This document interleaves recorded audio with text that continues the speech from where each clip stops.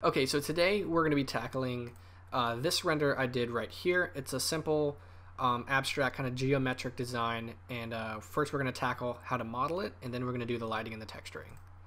So make sure that your scene is completely clear, nothing's in there, and we're going to add Shift A and we are going to add an icosphere. I'm going to scale it up just a little bit. I'm going to hit Tab, W, and then subdivide smooth. And then over here, number of cuts, just drag it all the way to 10.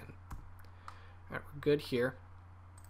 Now what we're going to do is we're going to add a subdivision surface and a displace. Down here on your displace, click new, and then click this little thing right here, and that'll bring you to the uh, texture selection. Right here on image or movie, go up here, and I'm going to pick uh, clouds, just your simple clouds, and then bring your depth down, and then bring down, whoops, bring down your size till you like what you have going on. Um, I think we'll go with this. Actually, let's do one one more. Play with the depth a little bit. Okay, so we're gonna go with this, and let's add one more modifier, and we're gonna add a decimate modifier. So click your decimate, and then bring it down to right about right about there. We want to maintain the shape, but we don't want so much decimation where it's destroying our overall shape. And the reason we want these vertices to be fairly big. Okay. So in your render, just put on a 1 just in case. And then here, now that we have it here, we want to get this sort of hexagon style um, vertices. Right now, they're all triangles. So there's two ways to do it. One way to do it is to add a bevel. And what that and then click only vertices. Oops.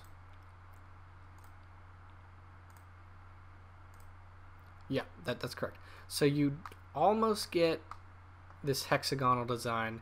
You kind of get it, you can kind of see it, but it's still kind of triangulated. Dep depends on the model. But there's a way to get the hexagons um, without fail, and that's right over here on the tissue tools. If it's not on already, go to your user preferences, and then go to your add-ons and type in tissue. And it should be right there, tissue tools, and click it. And then right, it'll be right down here on your sidebar. If it's not there, you can see a little plus and drag it over. All right, tissue tools. Um, right here, you're going to click dual mesh. Now, keep in mind, it's destructive. Once you click dual mesh, all these are going to go away and you're going to start from scratch. So just keep that in mind. Um, so we're going to click dual mesh on our model.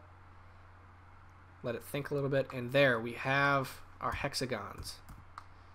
We have that that design. It's a really cool. Dual mesh is an amazing little um, button in the add-on. All right, next thing we're going to do, we're going to hit tab, hit A to make sure everything's selected. Now we're going to hit space bar to go into our menu and type in edge split right down here, edge split. And I'll show you what that's going to do. We're going to go into our modifiers, and we're going to click smooth. Boom, and now we can see what the edge split did. If we play with the factor, we can see what's going on.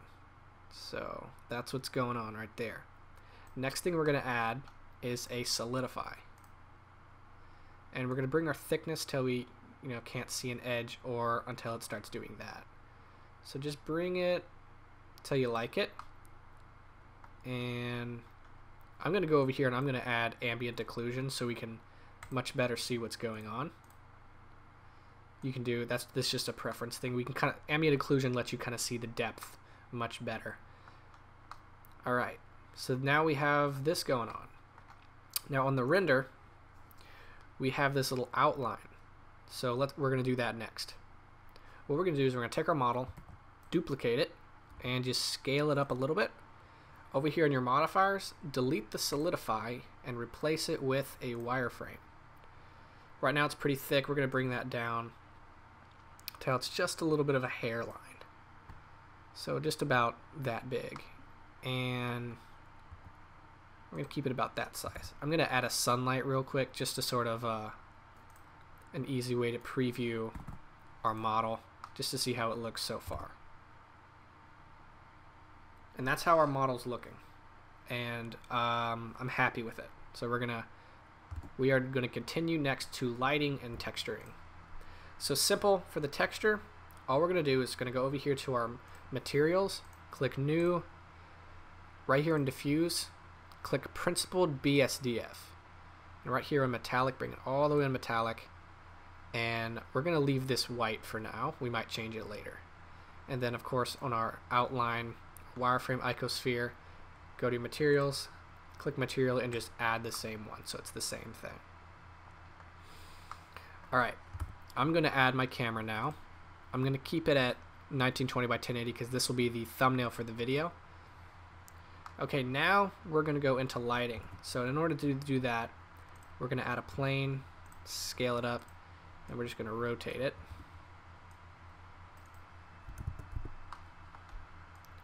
It's right about there go back to our camera and we're just going to scale it till it passes up our camera view. And we're also going to give this plane the same material. So now we have all this. Now, next thing we're going to do is the lighting. The way I did the lighting is just two simple area la lamps. I believe they're called area lamps. One right here and one right here, and they're just um, casting right on there, onto the model. So Let's shift A right down here on lamp and add an area. And we're just going to bring it till it's right outside the camera view and then rotate it. Till it's pointing.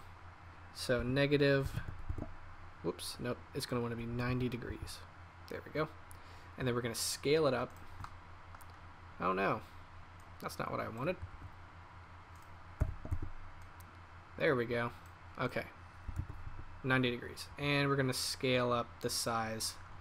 And we're going to put our strength at 300 for now. Just to preview it. And Shift Z to see how it looks. Oh, we forgot to do something on our material. Go back to your material and up your roughness. It's right about there. So we can see what's going on. It was completely like a mirror. And that's what we have right now and we're gonna copy this lamp here and we're gonna just bring it to the other side and we're gonna rotate it negative 90 and let's see what we got.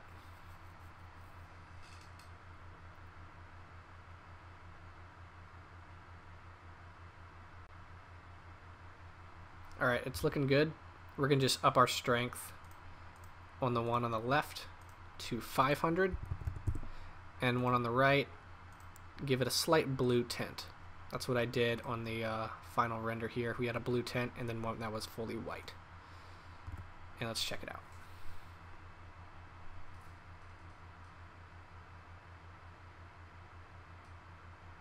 It looks really good. Alright. We might be almost done. We're going to up the strength on the blue one to 500 and the one on the left to 1000. Whoops, that's 100.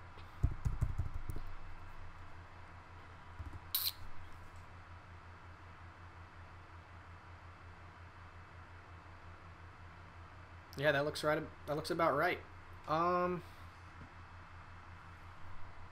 and yeah, that just about sums up the tutorial. You can go in and make whatever changes you want stylistically. Um, on the render, this one's going to take a good bit of time to render. I put my settings at 300 samples um, right here in sampling. Actually, no, I had it on 500 samples because it was kind of noisy for me. I don't know what kind of computer you have. And then I had on your denoising, I put it at 0.1. You won't need a lot of denoising when it has 500 samples. I just wanted the most high quality render. And um, that's basically it.